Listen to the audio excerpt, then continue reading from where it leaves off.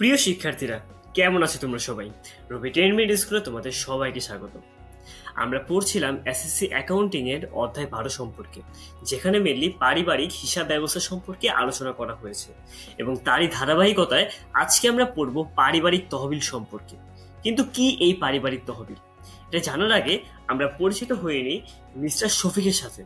ইনি হচ্ছেন মিস্টার শফিক। ইনি একজন বিজনেসম্যান অর্থাৎ তিনি হচ্ছেন তার ব্যবসায়ের মালিক। আমরা জানি একটি ব্যবসার মধ্যে যে মালিক থাকে, সেই মালিকের ব্যবসার মোট সম্পদের উপর যে দাবি, তাকেই আমরা মালিকানা সত্ত্ব বলে থাকি। এই মালিকানা সত্ত্ব দ্বারা কি বোঝায়? ব্যবসার যে মোট সম্পদ রয়েছে, তার উপর মালিকের দাবি বা এই ক্ষেত্রে বলা যায় মিস্টার শফিকের দাবি। ব্যবসার মধ্যে তো অবশ্যই মালিক থাকবে একজন। তো এই মিস্টার শফিক শুধুমাত্র তার ব্যবসায়ের মধ্যে হিসাব ব্যবস্থার প্রয়োগ করেন না, তিনি তার পরিবারের মধ্যেও হচ্ছে হিসাব ব্যবস্থার প্রয়োগ করে থাকেন। এখন তার বিজনেসের মধ্যে যেমন তিনি মালিক, একটি পরিবারের মধ্যে কোনো আমরা মালিক দেখতে পারি? না। একটি পরিবারের মধ্যে সাধারণত মালিকের অনুপস্থিতি দেখা যায়। অর্থাৎ পরিবারের মধ্যে কোনো মালিক থাকেন না। যদি মিস্টার শফিক তার পরিবারের একমাত্র ইনকামের সোর্স হন, সেক্ষেত্রে বলা যেতে পারে তিনি হচ্ছেন তার পরিবারের কর্ম, কর্তা ব্যক্তি অথবা কর্তা, কিন্তু তিনি কিন্তু পরিবারের মালিক না। একটি পরিবারে সাধারণত কোনো মালিক থাকে না।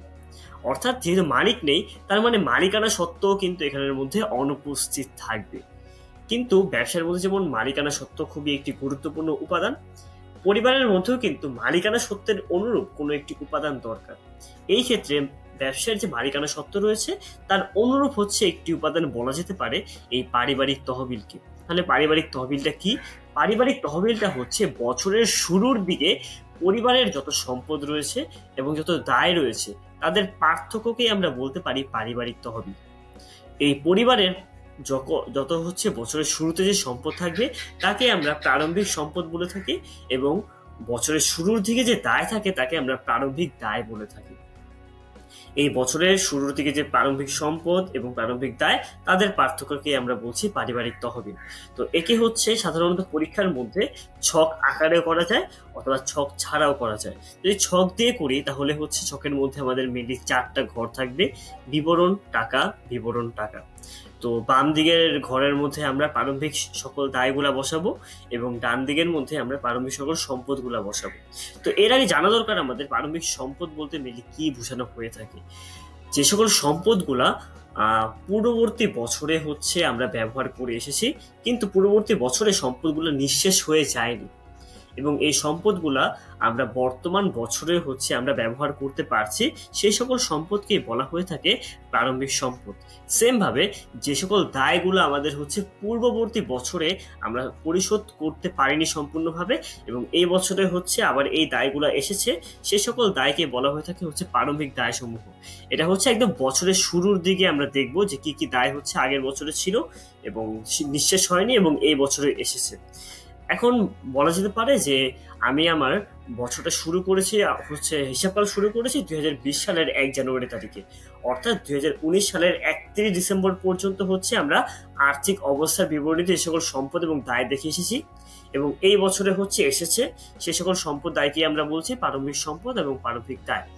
তার মানে যদি আমরা এই বছরে একবারে দুই হাজার বিশ সালের এক জানুয়ারি তারিখে যদি কোনো সম্পদ নতুন করে কিনি তাকে কিন্তু আমরা কখনোই প্রারম্ভিক সম্পদ বলতে পারব না। কেন? কারণ এই সম্পদগুলা আমরা হচ্ছে আগের বছরে হচ্ছে কি করিনি? আমরা ব্যবহার করিনি। বরং আমরা এই বছরে নতুন করে আমরা এই সম্পদগুলা হচ্ছে নতুন করে কিনেছি। ঠিক আছে? তো এটাই হচ্ছে প্রারম্ভিক সম্পদের সাথে নতুন যে সম্পদগুলা রয়েছে সেই সম্পদের পার্থক্য। এরপর এই প্রারম্ভিক সম্পদ থেকে যদি আমরা প্রারম্ভিক দায়টা হচ্ছে বাদ দিয়ে দিই, তাহলে আমরা পেয়ে যাব এই পারিবারিক তহবিল। দেখো নিচে লিখে দিয়েছি যে প্রারম্ভিক সম্পদ মাইনাস প্রারম্ভিক দায়। প্রারম্ভিক সম্পদ কি কি হতে পারে? হতে পারে হচ্ছে প্রারম্ভিক একবারে আসবাবপত্রের যে উদ্বৃত্ত রয়েছে, অথবা প্রারম্ভিক হাতে নগদ, প্রারম্ভিক ব্যাংক জমা, প্রারম্ভিক দায় কেমন হতে পারে? যদি আমাদের প্রারম্ভিক কোনো পাওনাদার থাকে কিংবা আমরা যদি ব্যাংকের থেকে আগের বছর কোনো ঋণ নিয়ে সম্পূর্ণ পরিশোধ না করি, এগুলোকে আমরা বলতে পারব হচ্ছে প্রারম্ভিক দায় সমূহ এখন তোমাদেরকে পরীক্ষা ছক আকারে দেওয়া লাগবে? না। তোমাদের পরীক্ষার মধ্যে ছক আকারে দেওয়া বাধ্যতামূলক না। তোমরা চাইলে সূত্র আকারেও লিখতে পারো। সেই ক্ষেত্রে সূত্র হবে হচ্ছে পারিবারিক তহবিল সমান প্রারম্ভিক সম্পদ মাইনাস প্রারম্ভিক দায়। এই ক্ষেত্রে তোমরা কি করবা? তোমাদের যত সম্পদগুলো রয়েছে, সেগুলোকে তোমরা হচ্ছে যোগ যোগ আকারে লিখবা এবং তার থেকে হচ্ছে দায়গুলাকে বাদ দিবে এবং দায়গুলাকে হচ্ছে যোগ আকারে দেখানো লাগবে।